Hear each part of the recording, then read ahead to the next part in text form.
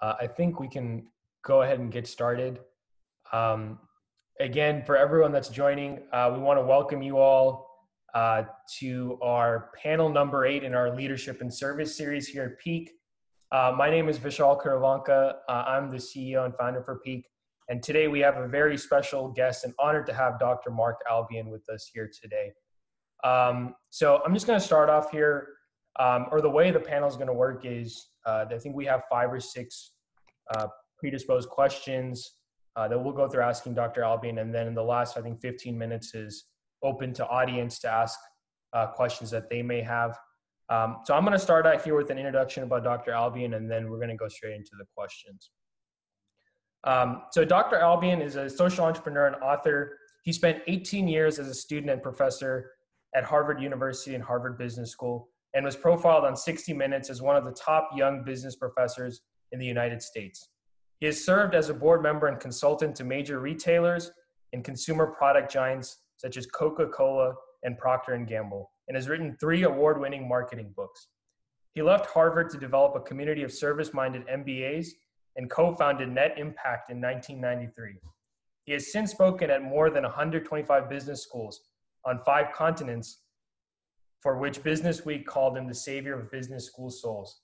Thank you for being with us here today, Dr. Albion. Thank you. It's, it's a bit of an old resume, but it still works. yeah, I just I pulled out the sorry I pulled out about the author in one of your books that I. Okay, no no problem. No, it doesn't matter. At, at my age, when you're turning seventy, it really is. It's just nice to still be here. and it's really great that um, you all could join us. Um, and, and, can you guys tell me approximately who's on? I mean, age group and all that. I really don't know. I'm sorry. Um, just so I know. Um, yeah, so um, it's usually a mix, half high school, half college students. Um, so we got upperclassmen, high school students, and then some early, I think, sophomore, juniors uh, from college as well. I think across the country. So um, we have some high school students from Houston and then college students all across the country. So, so the age group is mainly in that age. Group. So we can go ahead and jump into the first question here. Um, so, you know, given that you have led an extraordinary career, sir, um, we just wanted to know, you know, what are you still most passionate about uh, and what drives that passion? And I know this is a little heavy question to kind of jump into here, but I felt like um, I think this is something that a lot of people submitted as you know something they wanted answered. So we figured we'd start here today. Right. Well, thank you very much. It's a great question, and for me, it hasn't been that challenging, but it, certainly the road was challenging. The shortest distance on most of our journeys is sort of like this. It's always under construction. You know, uh, the paths are never linear. That's for sure. Um, but from relatively early on, and certainly that's a very actually an, um, an old resume. I'm actually been at Harvard because I went back after that for about 25 years, and and it really came out of my experiences at Harvard Business School. I had the typical sort of you know um, achievement oriented path, and um, in any case, my frustration at Harvard Business School. Most of us, our passions come out of deep inside us. You have to be in touch with yourself. There's nothing more important than taking care of yourself and being clear about who you, you are and finding your voice. Uh, on an offshoot, the first time I ever used my own voice doing a public speech was when I was 46. Mm-hmm. Um, it took me to 45 or 46 years old before I actually, 45, gave a speech with my own voice. So it takes time. And even then, I've lost my voice along the way. But what I was all, very much most passionate about is particularly for people as fortunate as most of us are, and probably a lot of you on the call, is that, you know, we're here to serve. It's not about power, it's about service. It's not about domination, it's about sharing. Uh, one of my, my one of my younger daughters, my 33 year old, complains all the time about white privilege, and I go, you know you do with white privilege? You help people who don't have privilege. And so for me, being at a place like Harvard Business School for, well, eventually 25 years, but certainly at the time that I left, it was 18. That's exactly right. Um, I was very frustrated both with myself and my students. And I realized that one question I always ask is, are you part of the problem or part of the solution? I've always wanted to be part of the solution. A lot of times we fool ourselves by making excuses, and I could give very current ones having to do with the current political situation, but I won't go there.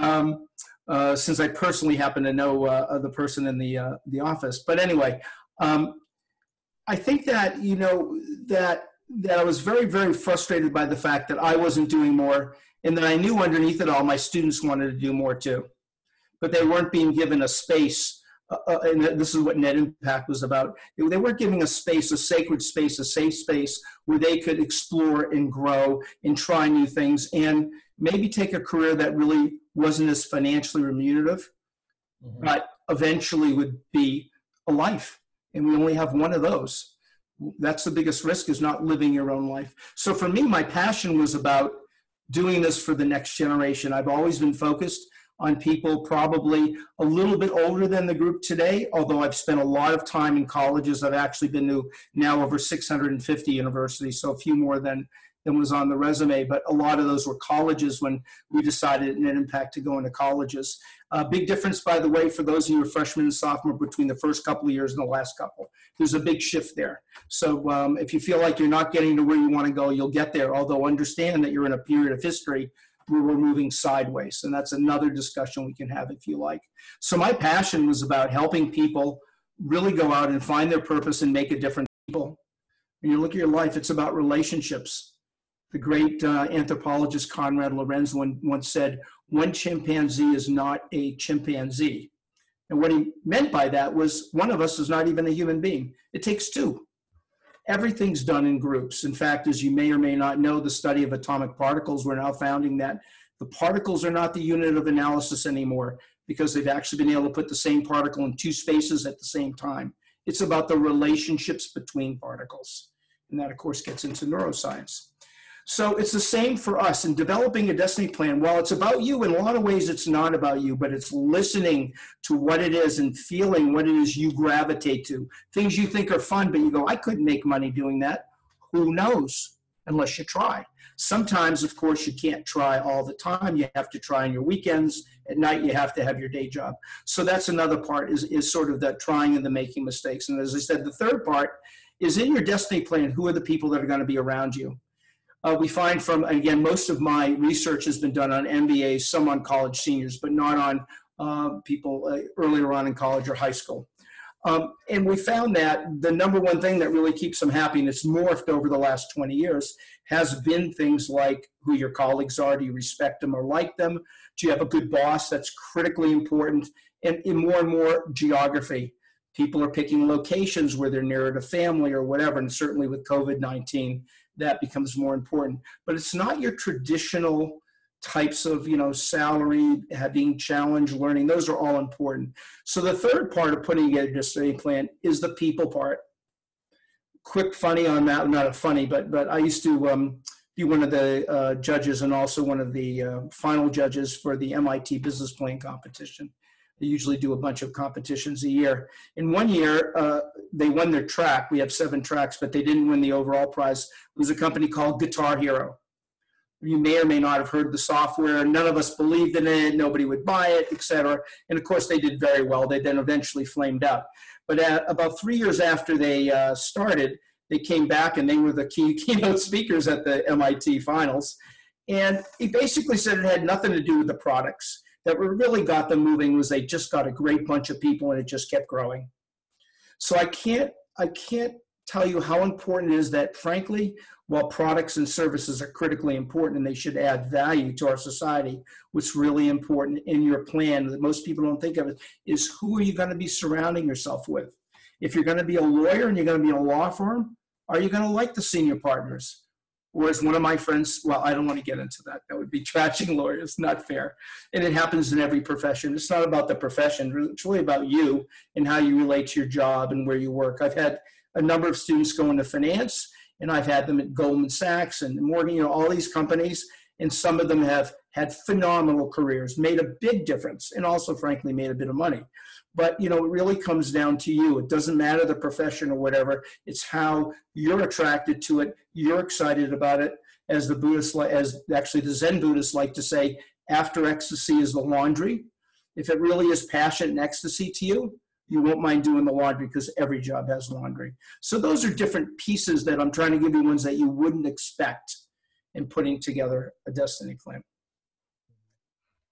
Yeah, um, thank you for that, Dr. Albion. And I think this kind of uh, nicely segues into the next question, which is about you know not letting other people define you know who you are, uh, not letting other people tell you what to do. For instance, I think you know we always try to do what our parents want us to do or something like that, right? Um, and so you know how do we or this new generation that's coming up um, how do you advise people on finding you know our own unique i think you call it little voice um, and, and, and, in today's world it's really hard right? we got all this social media this online you know internet uh, you're being bombarded with information how do you figure out or how do you advise us to find uh, our little voice it is called, you know, it's Dom uh, in Hebrew. It's uh, it's Dom Cole. Yes, it is called. Actually, in the Bible, it's called the little, the small voice. Um, um, very true. Very well said. Obviously, this is the million dollar question, isn't it? And and trying to keep it in. Just to give you an idea of how you know flawed I am, I took a job as a university president, having been pushed by my friends to do it, even though knowing that what I love to do is I love to teach, I love young people, um, you know, teens, 20s, 30s. I love to help them and I love to research and write. I'm not an administrator, but I, I did take that job. And I took that job when I was almost 60 years old and I lost my voice. So the first thing I want to say is just because you found it doesn't mean it's easy to keep it. but finding it again is this sort of process. Uh, some of my friends, in fact, a book that was the, the prequel to the book that you read, um, More Than Money, was called Making a Life, Making a Living. That came out in 2000. Um, and, and I was asked to do a sequel to it. Um, and we also developed a company called More Than Money Careers, which we since sold, which had about eight or 9,000 different socially responsible tracks you could take. Uh, this is very well done by Dr. Marin Bootla, who really led that, a neuroscientist. And uh, we tried to make the more than money and the finding your voice come to life and actually give you some tools for that. But finding your voice is extraordinarily tricky because of what you said it, but what you said is in, I think it's in the More Than Money book. It's they're called VOJs, Voices of Judgment. By the way, I didn't come up with that name. Um, as they say, if you steal from one person, you know that's plagiarism. If you steal from many people, that's good research. That's research. So I'm a good researcher. I forget who came up with them, but I, I've used that repeatedly. And as you said quite rightly, it's either what you think the people who are important to you think, or what you what you perceive they think, whether they think it or not starts with your parents, then obviously it becomes more of your peers, We want to be different exactly the same way your peers are different. And these are all very normal things that we go through. But when you get to adolescence as opposed to adolescence, it's really time to begin to find what your voice is. And it is complicated because, as I said, I did not speak with my own voice till June 6th, uh, 19. Let's see, what would it be? Uh, oh no, 2006. I'm sorry, excuse me, 1996. I'm sorry. Tell my age, huh? Can't get the numbers right. I got to get somebody from MIT to do the math. Okay. I used to be a math person. What happened? Okay. It took me to 45 to actually strip away everything everybody was telling me to do as I made an official speech to the United Nations. I was our representative that year for how to how to how to help build and educate socially responsible young leaders for for-profit businesses, NGOs, government, etc and went to give this 19 minute speech. And after the person, uh, the president from France who spoke before me, after all the delegates were asleep, um, I threw out the speech and talked from my heart. I spoke from my heart. And um, it was really very special. So, what got me to that point? What helped me find my voice? Well, in the Making a Life book, we talked, we had a whole chapter on this, and we talked a lot about you find out where you fit in by not fitting in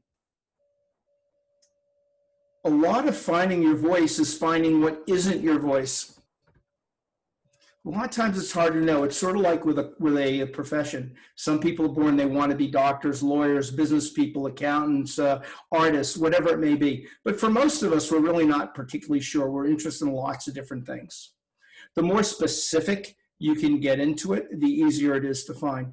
But finding your voice is really, for me, I think by the time I was 50, I had developed a compass that I knew where I should be and where I shouldn't be. Like doing this. How many of these do I do? None. This is the only one. Some reason when I got this invitation, I said, I think this is what I'm supposed to be. This is my voice. So a lot of voice for me is connected to what you do and how you express it, as opposed to, I really caution against sitting around and thinking and trying to figure things out. I'm not saying we shouldn't be contemplative. I'm not saying that we shouldn't be content.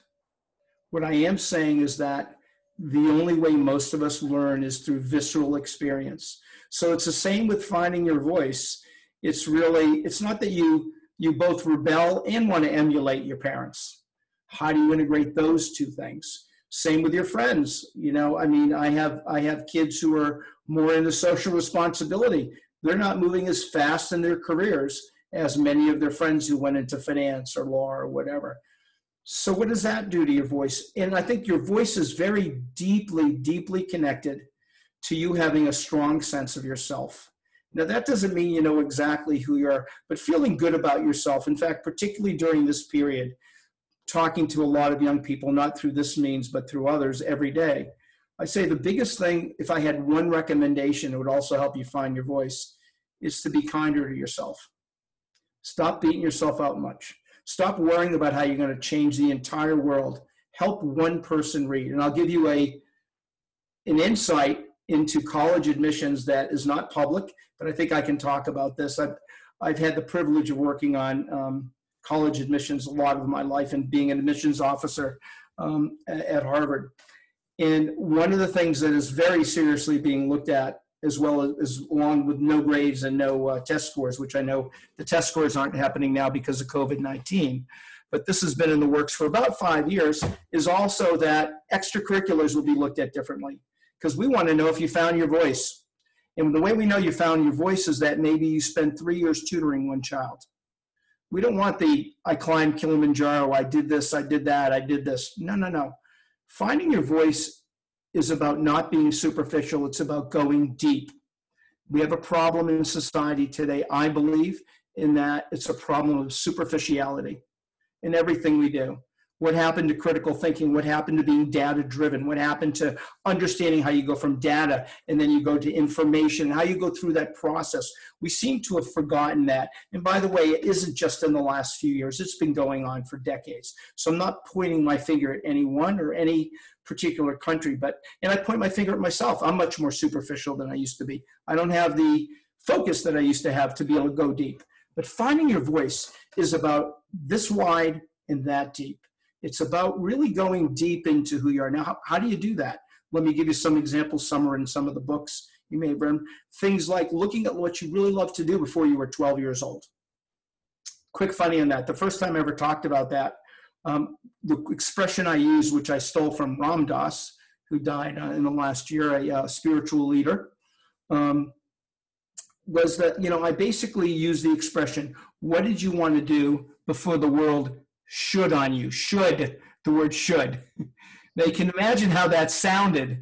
And the first time that I said it, I was doing, I was promoting one of my books in New York, in Westchester County, and I was doing one of the, I guess it was Good Morning New York, you know, one of those morning shows. I had my five minutes and 15 seconds to go.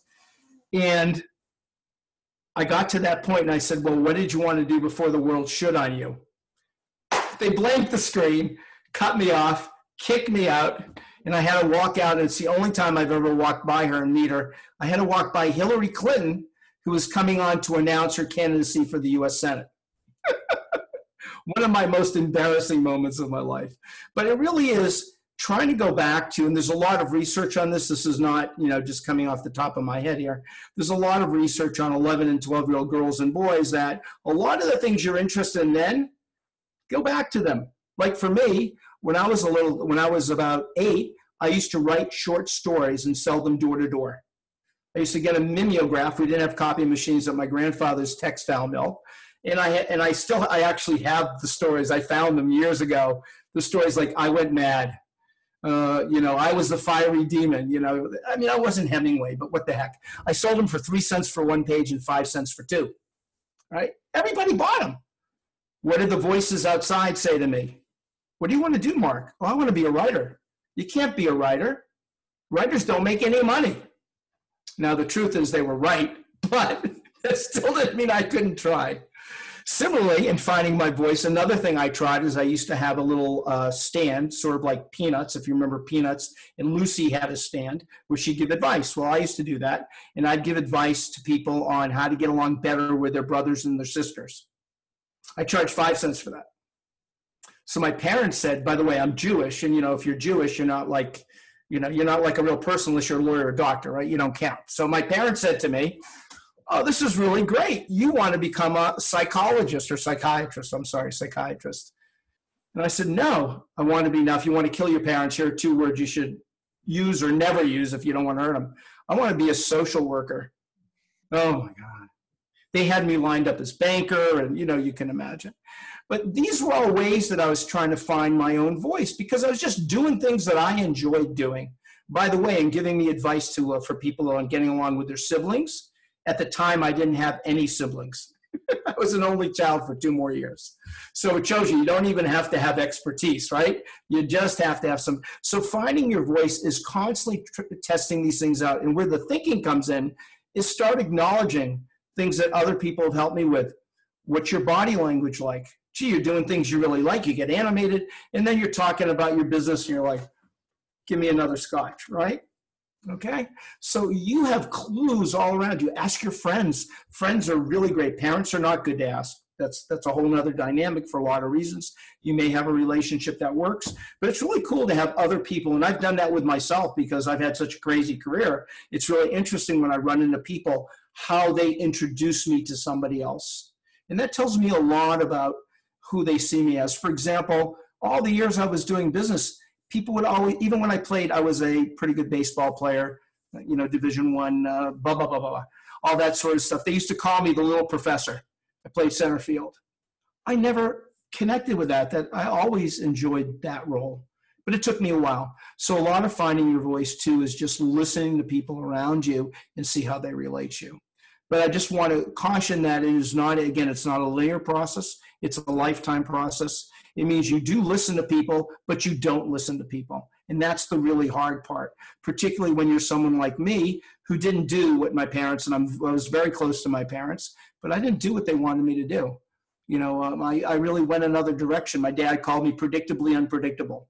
You know, predictably, when I would get to something and make an important decision, I would make the wrong decision, according to him. So, you know, for me, it had to be my life. So I think those are just, you know, some random thoughts, I guess, on finding your voice. Yep. I mean, I think it was, in a sense, uh, it was very powerful. I think understanding to go deeper, and I think the superficial part was something that uh, I, I really connected with because I think, um, especially with social media, I don't know, in our generation, everyone always posts pictures, and you know, you're looking and you're like, oh my god, this person's doing this or doing that, and I don't know. I think it just opens up a different, whole different world, and you know, that's why we wanted to ask this question. Um, but thank you for your response here. And I think uh, the next question here is about, um, you know, I, I, think it was a question you yourself had submitted, sir, um, which was about COVID 19. Um, and, you know, everything has changed during this time, right? I mean, everything is remote from learning to work. Uh, and you've seen companies suffer major economic consequences. Um, what do you think are important questions to be asked regarding life and careers in a time like this? Find your own corner of the world. I think it's the most important thing. I think you need to find your own place in the world. I think one of the challenges, certainly with uh, with our students, is that they're all they're saying, you know, what can I do? Those sort of things. And and the two parts of COVID. The first part I already told you. It's very much about. It's really funny with the masks, and I'm going to credit uh, one of my rabbis, Rabbi Karen Citron, Westwood uh, Temple Beth David, had this in her Rosh Hashanah sermon, but the notion of a mask. Um, for those of us, I don't think too many people on the call have um, children, but when you do, the first time you fly with them and, and they talk about the oxygen and, you know, coming down and, you know, if we're, if we're you know, if we're going to need oxygen, you know, it'll, it'll pop down from up above and make sure you put on your mask first. That's really weird as a parent, I got to tell you, because you're looking at that little baby, whatever, and you'll do anything for that baby. And if something happens, you're going to, you're not even going to think about yourself. I think that's the first thing, and I've already mentioned it briefly.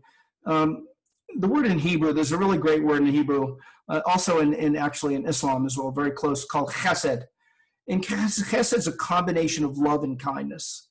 And I think that we think about that all the time in terms of other people. But as I mentioned earlier, I think number one in COVID 19, this is what I do with my, my, all my children have moved back into our house with their partners. With a, we got a, we got a house full of a lot of people and a lot of animals at the moment, including chinchillas and other things. But anyway, um, I think the first thing is you really have to take care of yourself. And this is a great time that we're all in a timeout. And I don't want to get too deeply into it. This is not the audience for it. I'm involved in a project of what will the world look like in 50 years with some extremely good people. The world's changed now dramatically. It's not going to go back to the way it was. We have a new world now. Simply good things. Um, Apple for example, most of the workers, they don't want to go back to the office. Some of us are finding, you know, a lot of things are working pretty well on Zoom. You know, not that we're going to not get back together. We're all very social people, social animals, um, as Loren said. But so I think the first thing is really trying to take care of yourself. I like to say we're all doppelgangers right now. We think we're the same, but we're not. And the expression I use, and I'm stealing this a little bit from some Japanese friends from 40, 50 years ago, is we're living in a world where we're moving sideways. What do you do when you're living in a world that's moving sideways for your career? We have historical examples. I'll take the Japanese example as being the most recent, even though it was about 50 years ago. The Japanese example was there was a period that the Japanese began to start coming over to the US with mo- small motorcycles. And you know, it was oh, they, they can make the small ones, but they can't make the big ones like we can in the United States. Well, of course, they got to the big ones, and they got to small cars, big cars, etc. Before you knew it, over the course of about a decade, the Japanese were selling extremely high quality products at all price points and kicking our butts. So the response was simply, well, you know, they have the banks helping them, they have the government helping them. That's why. Well, Bill Abernathy and Sam Hayes did a little article in Harvard Business Review called Managing Our Way to an Economic Decline.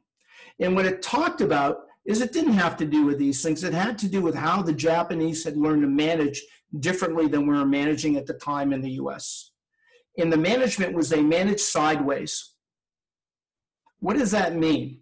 It means they didn't continually promote people up, up, up, up, up. They promoted them sideways. It wasn't about going higher, it was about learning more about the company. It was about taking your specialty, get deeper in your specialty, but understanding how it fit in better to the whole by learning different parts of the organization. I think this is a great time, if I were building my career, to do some sideways movement. Um, it's a really good time to begin filling out I, I mean, for me, for example, I am doing a lot of classes out of you know Scandinavia, out of Israel, out of uh, South Africa, etc. Things I couldn't normally do because I'm not going to travel to all those places. So there are opportunities here to start to really broaden yourself sideways. The reason I think it's important, and without the details, is again, I think we're entering a different world. Um, Mother Nature said, "I've sent you a million signals, and you're not getting it. So guess what? You got to treat my planet better and you got to treat each other better. And if you don't, well, Mother Nature ain't going anywhere, but maybe you are. So, whatever. So, that means we have to be prepared in different ways. And while being a specialist is always critically important, being the best at one thing, being the unique one in that, I think that this is a great time moving forward, given the uncertainty of the future, to really move more sideways in the way you look at your career right now. Looking at things that are great opportunities, great ways to learn, even if they're not promotions. I think the second part of COVID 19, I've actually, um, I'm very involved in startup socially responsible businesses, have been pretty much all my life. Um, I have seen a number of presentations lately, which are done by people who have been at Yahoo and Microsoft, very talented people um, have already built their own companies and are building companies now structured around a world with COVID 19. what does that mean? Well, it obviously means they're looking at running it more technologically, more in the world that you guys, more than I, are much more familiar with of social media. They're even they're structuring the business assuming that even if it's not COVID 19, these masks aren't going away. They're going to become part of our lives. And if they aren't, well, better for us. But they're structuring what they do, assuming that this isn't going to change dramatically. For example, they're not going to go into the restaurant business. Or if they do, they're going to do it quite differently. Uh, actually, my nephew just went into it, but he does delivery, you know, that kind of thing. So I think that's the third thing is that understand that while the conditions will change, things will get better. They always do. Again, if you read history, there was the 14th century, 12th. We could go through lots of periods where things like this happened. We do rebound, but when we do, it's another world. When you don't know what another world is, it's great to have a specialty and then broaden your base.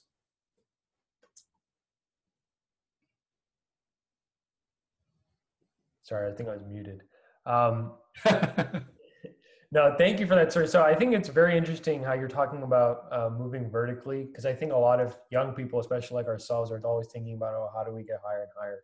So I really appreciate that um, that answer, sir. And I think what we're going to do here is uh, skip one of our questions here, move to the last question, so we can uh, give some time to the audience. But um, you know, our mission here at PEAC, sir, is to build the next generation of social entrepreneurs, right? I mean, we have people in high school working on cool projects, including, you know, teaching financial literacy, things like that, to make sure the next generation is more able to solve these problems, right? Um, what do you think are important skills that young leaders, such as our members, should develop at this time? Um, I think one of the things that you said in your book while you were talking to nonprofit executives was this notion of multicultural sensitivity, right?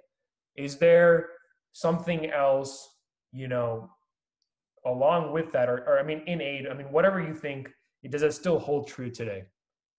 Uh, uh, yes, actually, um, the president at the time, I, I, I gave a speech at 9 11. That all comes from a book of mine called True to Yourself. The, the, the, three more recent books in this area I have is Making a Life, and that's about people going sort of their own way and making a difference and finding their passion.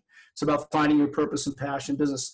Then the next book would be the one you read, which came 10 years, over 10 years later, which is More Than Money, which is really more about how do I do that. And then at the next level is a, a book I wrote called True to Yourselves, which is a leadership, a values-based leadership book. And that's what directly addresses this is what are the skills we need to sort of move up? In our lives. This is more the vertical to like take the boss's job, to keep moving along. What are the skills I should develop? And this is actually the work that I did for the United Nations. That's where, and, and I shouldn't say I did for the United, that's the work that I was the mouthpiece for for the United Nations. There were 30 odd other people from around the world that spent a year working on our report, which is actually online, uh, about 800 pages on exactly this question for, and we're like you, we're all focused on leaders. We're going to make a difference in the world. Otherwise, we're not, you know, I'm not interested in many, many products and services, but ones that will make a difference. So what are the things we came up with? The multicultural is big. When I've visited colleges, I'll notice that a lot of the top students are learning Mandarin. Um, there's no question that when I've been asked, this is mostly, I, I, had a role at Harvard Business School as an administrator and I've been a dean and all that. And so when I would talk to the incoming class of 800, I would talk about that, you know, in terms of you know, the, not the multicultural sensitivity, but what's the most important sort of set of skills they need? It's very simple. It's the people skills. It's communication. It's all about communication. I can tell you, uh, I hope there aren't any HBS people on here, or, and I'm only taking it at HBS because that's my experience, even though I've spent a lot of time at other schools, but most of my life has been at HBS. And I mention it because we have really bright students. Most of them can't write and that's in their native language. We're not even talking about all our students who are writing in a second, third, or fourth language. Communication is critical. It's critical to be able to communicate in five words, in seven words. If I can be political on an opposite comment that you would think I would ever make, Donald Trump is really good at this. He is an excellent five word, seven word, short word brander. And there's a lot of neuroscience about that. Most of our young people, they can write a great 20 page paper but I gave a course undergraduate at Harvard at one time. We, we had quite a few people sign up, which was on how to write a paragraph. about your business to a lead or whatever. So communication skills are by far, in my opinion, the most important. Um, many leaders I know, um, I don't know if you guys uh, have heard of some of like Working Assets, some of the earlier uh, companies in in these fields, or Calvert Fund. Maybe you know Calvert Fund. That's a pretty big one. Well, Barbara Krumsiek, who is running Calvert Fund, our largest socially responsible funds, once told me that she has 300 direct reports. Her number one job and skill is knowing how those 300 people like to be communicated with. And particularly in the world you're growing up in with social media and all this, some people like it public, some like it private, some like an email, some like it personally, some learning how people want to be communicated with is critically important because again, if you want to reach your dreams, you got to help other people reach their dreams that's the way it worked. And each of us you know each of us has sort of i believe you know some some divinity some spirit in it in us. And if we can set off that spark in each other that's really a really critical skill. So by far the most important skill to me is communication whether it's written whether it's oral. Um, a very quick thing mary gentile has done a phenomenal program that's been around now for 20 years called giving giving voice to values. It may have been at your school and what it basically says, this is about how you express your values in business. And most of the teaching is done by you getting on your feet and actually doing it. That's another thing. There's a lot of cognitive research that as you're developing skills, for example, when I did my orals for my doctorate, I didn't practice by reading a lot of things. I stood in front of a board with 50 questions just like uh, that was going to be asked. So understanding all the different forms of communication and being effective at it is by far the most important skill. Underneath that too, everybody should have technological background. Everybody needs to have data, you know, a, a strong computer background. If you don't, you're going to be left behind. The gap's going to get wider, unfortunately, I believe, not any smaller. We have to work hard to try to narrow that gap between rich and poor, between technologically with and without. But the reality is, the first thing that I would make sure all of my young people have is a technical background. Critical. Great. Well, um, I think uh, that was a great uh, segue to understanding, you know, way what we should be developing as a, as a young generation.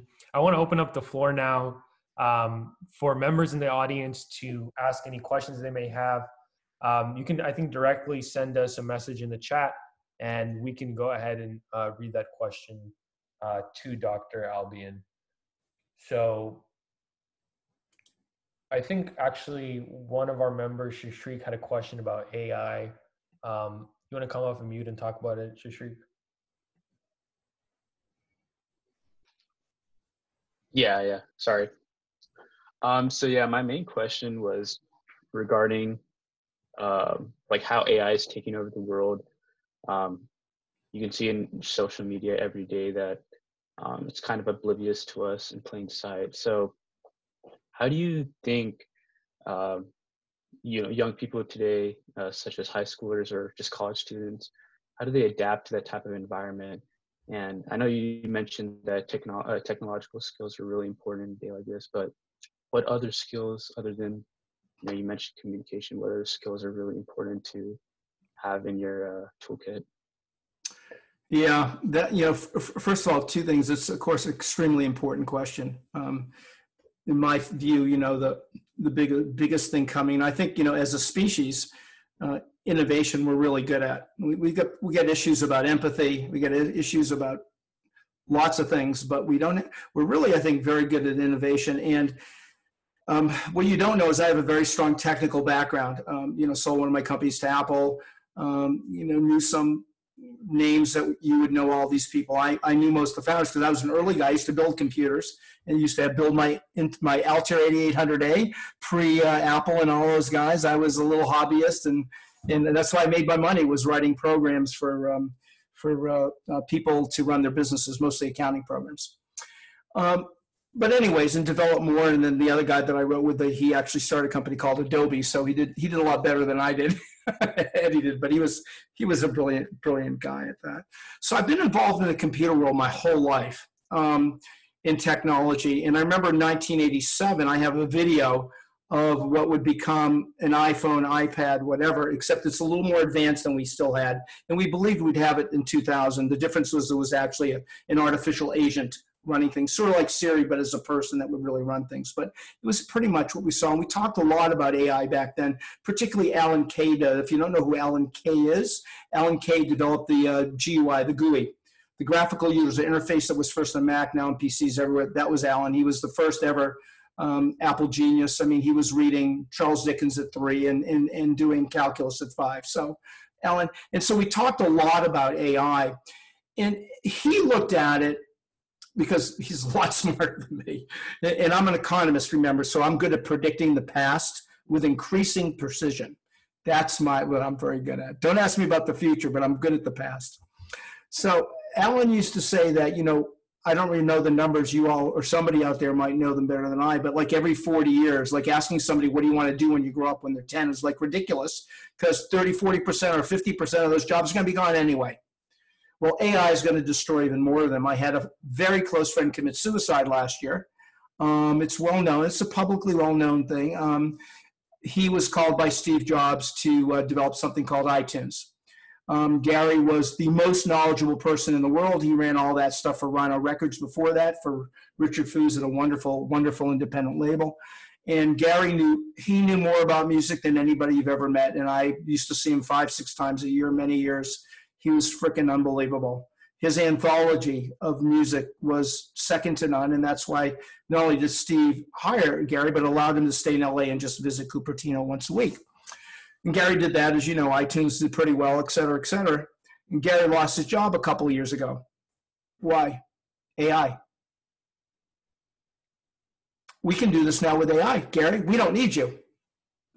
So, my first piece of advice is understand what you're doing, how AI may or may not either compromise it or make it obsolete or maybe enhance it. So, what would be the kind of things that you could get into that AI, rather than replacing you, would enhance you? And I, I just think on time I should probably stop there.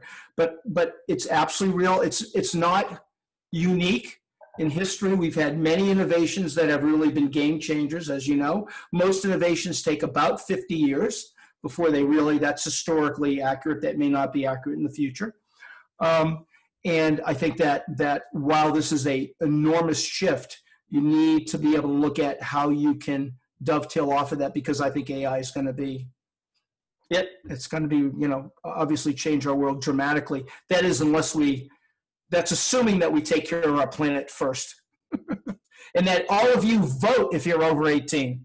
I asked a whole bunch of young people, what should I say today? Every one of them said, make sure everybody votes. so vote for your world. So anyway, assuming we have a world that's that's running on all cylinders, AI is going to be a uh, obviously a large part. Thank you for answering that question, Dr. Albion. I think our next question comes from uh, Vaishnav. I'll ask him to unmute real quick and ask it.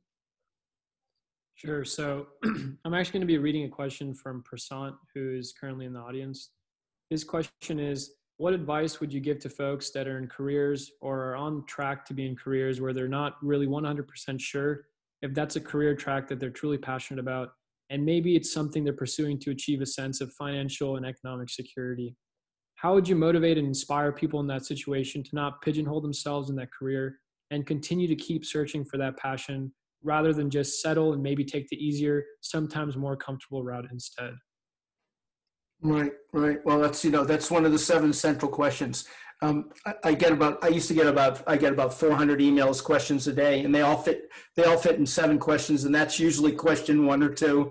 That's right at the top. I mean, it's the one we all think about. And and first of all, the reality again, I'm not asking you to read any of my books, and all the money's donated to different groups and books anyway. So it's not a financial thing, but I'm not. There's lots of great books out there. Um, but one of my, I call them lifelines in the book, um, you know, in the More Than Money book, one of them is money doesn't talk, it swears.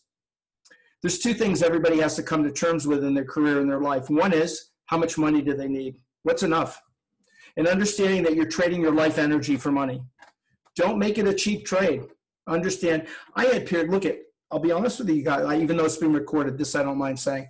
I, I took I took the job uh, when I was 60 because I really needed the money. My last company had gone down the tubes. Net impact, of course, which I'm you know been very heavily involved with day to day. I don't make money from that. Costs me money. It's a you know, it's a pro bono thing for me. It's a thing of just helping out. So my money had dried up and I had really not, not done very well for the last few years because I hadn't sold any of my companies yet. So I took the job for money. I lasted one year. I said I'd last a year. I lasted a year and then ran, ran for the hills. That's not a commentary on the job. It's me. I don't like to have a boss. I hate having a boss. I hate having a job. Always did as a kid. My whole family, my father, my mother, my grand, everybody's an entrepreneur in our family. So I think that you know, in terms of the career advice, it's it's really at the heart of more than money. Is to think about what's risky. Is it riskier for you to have a career where, you know, I grew up at a time where almost all my friends became lawyers. The ones who enjoyed it, they morphed in their 30s into other things. Started doing journalism with that. They went to smaller towns. Some became judges, et cetera, et cetera. So even if a, if a profession seems to be just a money profession, it's up to you to make it into something that's fun for you. And if you can't, again, this is all throughout the books. We say keep your walking costs low, then you walk. I've walked a number of times, cost me a lot of money, but it kept my integrity intact. I actually didn't walk once. I wrote about that one. That's when I lost my integrity. So I made a mistake in all of these. So I think the first thing, you know, that you have to think about is that what's more important to you? And at certain times in your life, the most important thing is making money. I had a student, uh, she's Asian, very strong uh, Asian family, um, had a brother die. They wanted to do this memorial, they needed money. She wasn't going to be leaving Goldman Sachs for the next couple of years. Not that Goldman Sachs is a bad employer, but she wanted to move on, but she needed the money. So don't, I'm not trying to diss money. However, what's more important over the course of your life? Leading a life where you basically become a wallet, or you help the economy keep going, or leading a life where you feel like you're a child of God, that you that you're in my religion, it's B'Tselem Elohim, that we're all in the image of God, that we're all here to try to help each one of us, you know, help whoever we touch make it through um, to the next day and the next week and the next month and maybe even thrive. So I have just seen so many. Uh, again, I've been around for a long time. I've had so many students break down crying in class at Stanford and many schools. I've written about some of them because their voice and who they are is being masked by a culture of power and greed and money. In greed, the thing about greed is greed eats everything when you get into that mode, and I've, again, I've asked a number of friends because your question is the heart of all my work, really, because I come from a background which is certainly about going to the best schools and making a lot of money. I mean, that's that's that's the whole ethic in my family. And uh, although my mother, who who's I'm still running her business, she passed away a few years ago, is still doing well. She was always very much into, hugely into making. Uh, she's uh, she's won a lot of awards. She's quite a role model, and I've written about her extensively as well. So I think that back to your, you know, the initial question, think about what's riskier. And the riskiest thing is not living your life.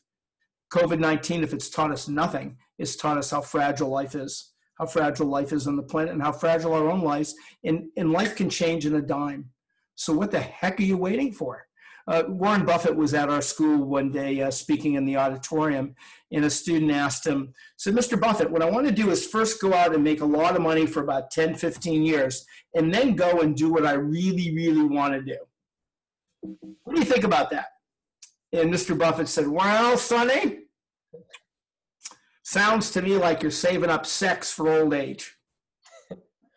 What are you waiting for? Now, again, sometimes you do have to wait. Sometimes you have a, you know, sometimes there's things in your life. But you know what? The people I know have done. I don't. You probably don't know Seth Goldman, but you might know his companies. He uh, started Honest Tea, uh, which is now mostly owned by Coca-Cola, and now he's uh, executive chairman running Beyond Meat, um, which is the only public one of those companies. Seth is just an incredible, incredible young man. I've known him since college. Uh, incredible. When he left a really good, high paying job in social responsibility in Calvert, where they just loved him, he left to start Honest Tea. Like we need another bottled tea product, right? He left to start that with his professor, which is very unusual. His professor from Yale was his uh, partner. And he left when he had just had his third child. His wife was working in a nonprofit as a nonprofit lawyer, but really wasn't working. And his third child had some issues. I hope he doesn't mind me saying that. Almost died. That's when he started. That's when he made the leap. And I remember talking to him saying, "Don't you think you should wait a year or two? He's going, "No. Why?" So I think that's really important. It's like listening to my kids about having babies. Well, we don't have enough money. There's always excuses. Don't let your career be an excuse. Understand your career as a way of you manifesting your love and your concern for not only yourself but for others. And it's a way of bringing that out there. Business doesn't have to be bad. It doesn't have to be boring. It can be a lot of fun. It can do a lot of good. I've seen a lot of people do great great great great things. There's things you put in place to try to make sure that continues but that's more of the uh, the, the details. But in terms of the overall i think it's just incredibly important to recognize that i know for most of us we've been willing to i've probably made 20% of what i could have made if i just now again i'm not complaining i've done extremely well. Um, but i'm just saying that i think all of us it's just what you focus on where you put your life energy. And I, I prefer putting my life energy into others. I think it's really leads to a lot of happiness when you don't think too much about yourself and I and I can really say this for all of you who are not almost 70 years old, because the body starts falling apart, and it's really good to think about something besides how many aches and pains you get in your body. well, um, thank you, sir, for answering all our questions. I know it's uh, 6:02 here, so uh, I think with that, unfortunately, we will not be able to get any other questions um, through here. Um, again, I want to uh, very much uh, show our appreciation for Dr. Mark Albion here, spending his time with us today, and giving us uh, his wisdom on some of these issues and thoughts on them. Uh, again, I mean, I spent ten or fifteen dollars on this book. I definitely recommend everyone to read this. Um, it gave me a lot of cool insight into myself and how I should plan my career forward. So again, doc, thank you, Dr. Albion, for spending your time with us today. Um, and thank you for everyone to coming out and uh, you know listening to us. Great. Thank you very much for having me. It's really an honor and, and, blessings to all of you. Just realize that each one of us, you know, can really make a difference in our lives and really live a fulfilling life, whatever our circumstances. And I hope that, you know, you're living in a, in a really, uh, I've been around a long time and in the 60s were challenging. I got my hand broken by the police, but I, I wasn't, I was a mixture of a conservative and a progressive at the same time. But um, this is really um, very unusual times, even historically and hopefully we'll use it to come out at a place where we're all one. We recognize that we are all one and we're one with each other and with the planet. So blessings to all of you. Godspeed. Thank you, sir. Have a great day. Bye, everyone. Thank you.